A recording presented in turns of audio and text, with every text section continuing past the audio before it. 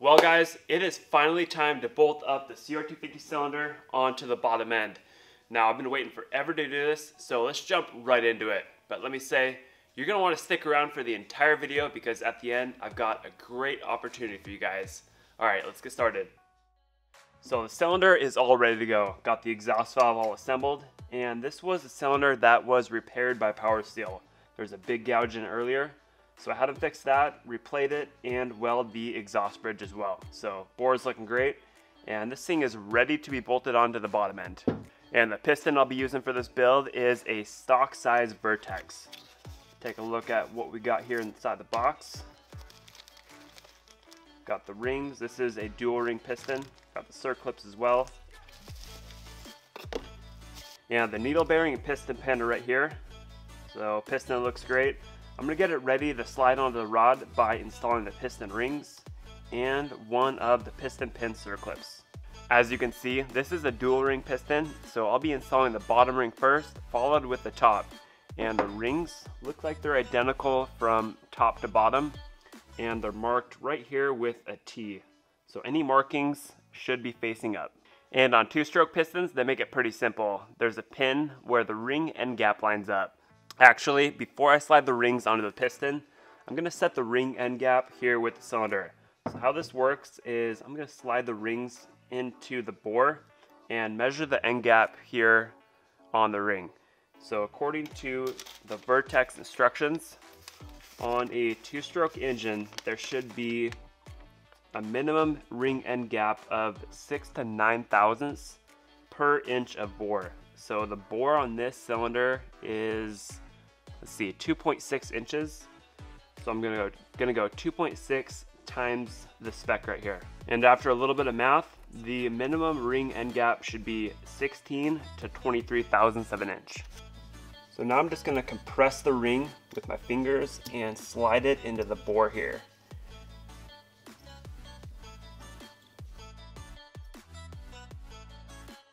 I'm just gonna work it down inside the cylinder a little bit, about half an inch down. Just gonna make sure it's even all the way around. That way I'm getting an accurate measurement. Looks pretty good. So now I'm gonna measure this little gap here at the end of the rings with a set of feeler gauges. And once again, our spec was from 16 to 23 thousandths. So I'm gonna find a 16 thou here, right there, and see if that fits into the gap. Yep, so that fits in there pretty good but there's still a little bit of movement. So I'm gonna bump up on the feeler gauge size and find out what the actual measurement there is. Let's go ahead and try 20 thou. So that fits in there. There's a little bit of drag or it's catching on the ring. So that is the gap right there. So that definitely falls within the 16 to 23 thou range that we had earlier. And just to be 100% sure, I'm gonna go ahead and measure the other piston ring as well.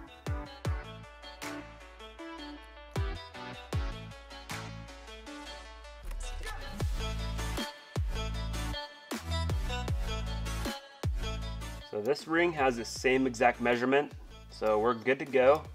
Next up is gonna be putting the rings onto the piston. All right, let's actually start assembling stuff instead of just talking about it. So I'm gonna lube up the piston here with some Maxima assembly lube. This is just gonna help slide the rings into place. Just a light coat here on the top of the piston will do. So like I said earlier, these two rings are identical and there's a T mark on the top of them. So that T should be facing up. So I'm just gonna locate the ring end gap pin here on the bottom groove. It's right there. So I'm going to line up the end gap with the ring, expand it, and slide it over the piston.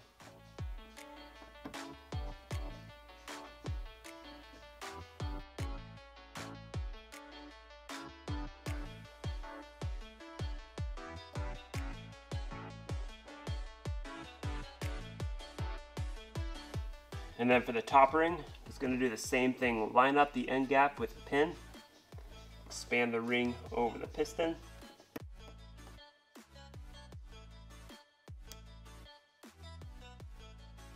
So right now it looks like the rings are super loose on the piston, like they're almost too big or something. But once I compress them and slide them into the cylinder, they'll be fine. And then the last thing to do here is to install one of the piston pin circlips.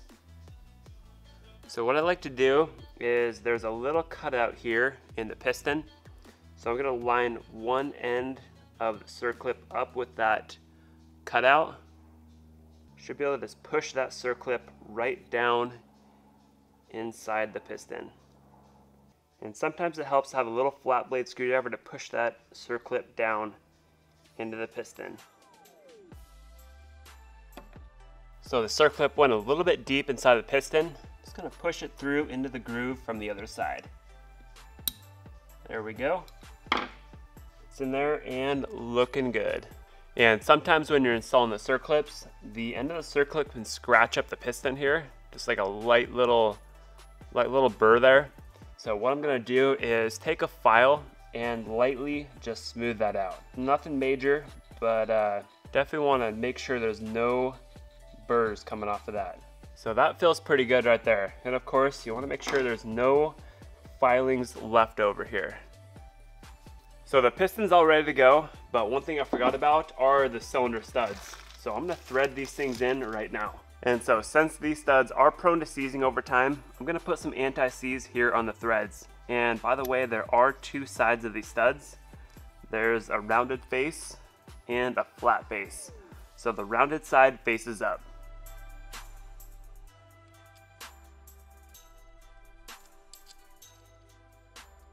So how I'm gonna tighten down these studs is by using two nuts and locking them against each other. Just gonna thread the first nut on upside down, just like that, leaving a good chunk of the threads exposed for the top nut. And now I'm just gonna tighten these two nuts against each other, and that will allow me to thread the stud into the case.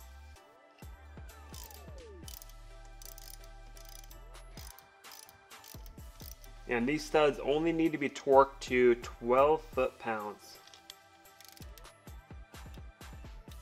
Whenever you're working on the bottom end that's assembled like this one, you want to have a reg covering up the crankshaft area here. Definitely don't want to be dropping a nut or like when we're putting the piston pin circlips in, definitely don't want to drop something down there like that.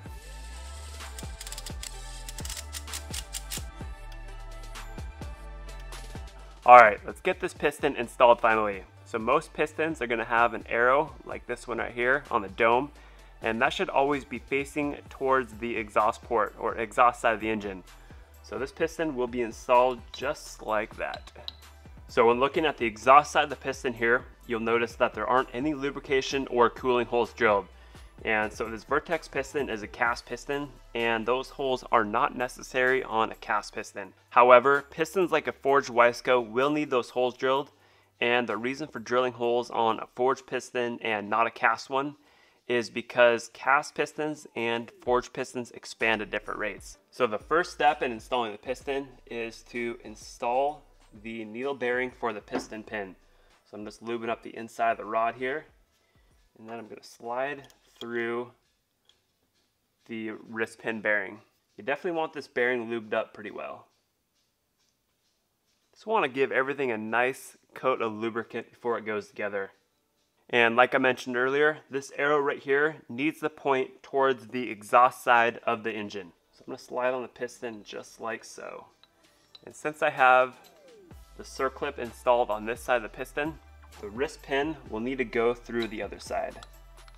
Just gotta wiggle the piston around a little bit and the pin should slide through. There we go. And so the last thing to do here is to install the other circlip here into the piston. So once again, I'm gonna put one end into a cutout here on the piston and try to work the circlip in without scratching the piston. There we go, popped right into the groove. And this is more personal preference than anything, but I like to have the ends of the circlip lined up with the cutout here on the piston. That way there's no possible way that circlip can come out. So before I slide on the cylinder, got the gasket to install and the two dowel pins. So I believe the dowel pins go, let's see, look at the bottom of the cylinder here. They go on the left side, so on these two studs here. And not a bad idea to put some anti-seize on the dowel pins either. And like always, I like to put a thin layer of grease on the gasket surface. This just keeps the gasket into place and then if I have to pull the cylinder off for any, any reason down the road, the gasket will stay in one piece and it won't tear.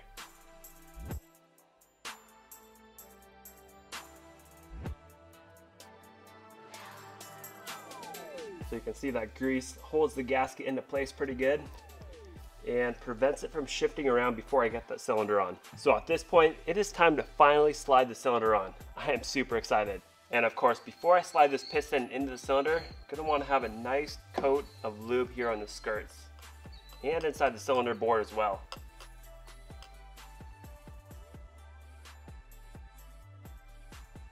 And so how this is gonna work is I'm gonna line up the rings with the pins as best I can. Just try to get them centered here on the locating pin. And obviously the first ring is gonna go into the cylinder first. So I'm gonna compress that just with my hands here, my fingers. Just gonna try to get the cylinder square on the cases here. Do my best to compress that ring. And if you have an extra set of hands here, like if you have a buddy to help you out, that helps out quite a bit. Trying to get these rings into the cylinder. So ring number one is in, and now ring number two. Gonna do my best to line this one up with the pin as well. Looks pretty good.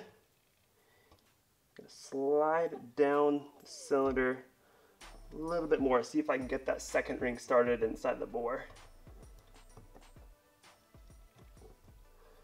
Just a light little wiggle. Get that thing started. And now at this point, I've got the ring started inside the cylinder. Just gonna do my best to keep the cylinder square with the cases and just squeeze that piston down inside of there. Just slow and steady. Gonna get it lined up with the studs here.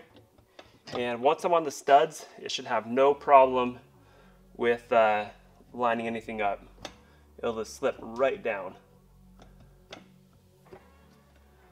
Just like that. Man, that is looking fresh. I love how the cylinder looks with the cases. Super happy with how that turned out. So you guys saw how easy it was to slide the cylinder onto the studs here. So having new dowel pins here inside the studs helps out so much. And then having anti-seize or grease on them too, that just makes everything slide together so much easier. And then down the road, say I have to pull this top end off to rebuild it, the cylinder is just gonna slide right off without any issue. Like I won't have any problems with those dowel pins corroding or rusting. Now I just gotta locate my nuts, for the cylinder that is, and I should have this thing all torqued down.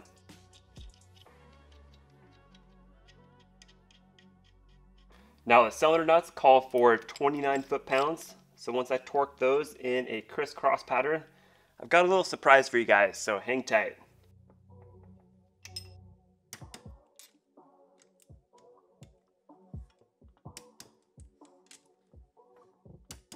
So of course, next up is gonna be the cylinder head, and let me show you guys what I'm working with here. This thing is so trick. It is made by Phathead Racing. I cannot wait to put it on. All right, so here's the deal with these heads. The biggest benefit is that they have interchangeable domes, which allow you to change the compression ratio of the bike, which will obviously change the power. So I've got two different domes here.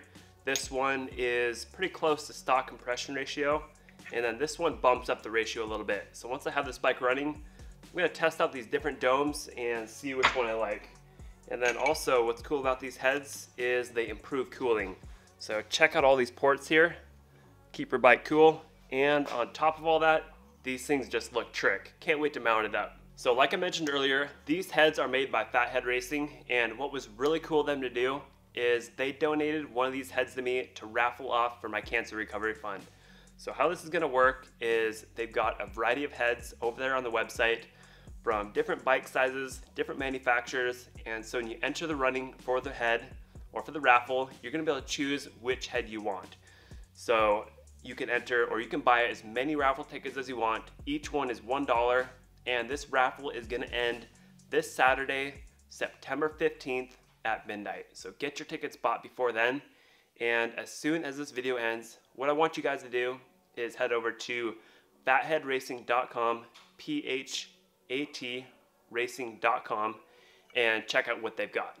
And so while we're on the subject of cancer treatment and cancer recovery, I figured I'd give you guys a little update. So I've been through two chemotherapy treatments so far, and they say I've got like four to six more.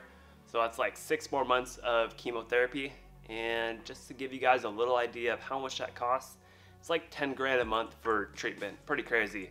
So of course I'm trying alternative treatments, doing whatever I can on my own to get better, you know, kick cancer's ass and get through this. But uh, it's like a constant roller coaster. Every time I go in for treatment, they knock me back down to ground zero. I have to build myself back up to like where I'm at right now. You know, I have decent energy. I'm able to work on the 250 a little bit. And then when I go back in for treatment, like on this Monday, they're going to just knock me completely out again and so it's pretty tough to go through, but overall, it's going pretty good. So I appreciate your guys' support. I wouldn't be able to get through this without you, and let's just keep on trucking. Let's kick cancer's ass. All right, enough BS. Let's get this head mounted up on the engine. So Phathead supplied some O-rings for the dome and the head. So I'm gonna get these into place and mount up the head. So this style of head uses O-rings instead of the traditional style metal gasket. And so I'll be going with the stock compression ratio dome just to eliminate any issues from the get-go. And then it looks like Phathead supplied new nuts and washers for the head as well. And then for the cylinder, just gonna wipe this down with acetone, make sure there's no oil or assembly lube left over. This is one gasket surface you don't wanna have any grease or oil on, that's for sure. Oh, and one more thing before I put the head on. Gonna make sure the engine turns over without any issues. Just seeing if that piston goes up and down in the bore without catching on anything. All looks good. So we're ready to go. And on goes the head finally. Sweet. That looks good. Now it's very important that the head nuts get torqued in an even pattern and the torque spec for this head is 20 foot-pounds. So at first I'm going to tighten all these to 10 foot-pounds and I'm just going to go in a crisscross pattern here. So much like tightening a wheel on a car. Now I'm going to bump it up to 15 foot-pounds and follow the same pattern.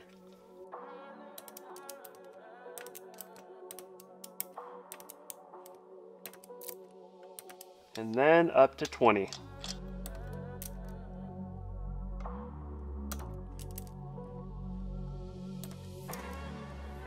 And boom, just like that, the motor is now finished up. Such a good feeling. Always a good idea to pop in a spark plug, just trying to keep anything from entering the engine.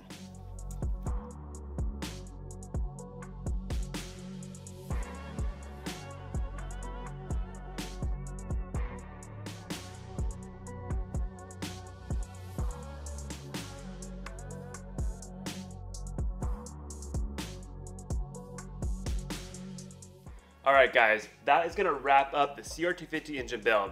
So as you can imagine, the upcoming videos are to be of assembling the bike and you definitely do not want to miss out on that. So if you're not already subscribed, go down below right now and hit that subscribe button. And I just want to give a big thank you to the companies that have been helping out. Phathead Racing provided the head, Power Seal USA did the cylinder repair, and then Vertex Racing provided the piston. So huge shout out to those companies. And a big thank you to you guys for following along with this project and giving me all the motivation in the world to finish this bike. Oh, and for those of you asking about the Campstrong hats, they are now available over on prymemx.com. With that being said, keep it prime, guys.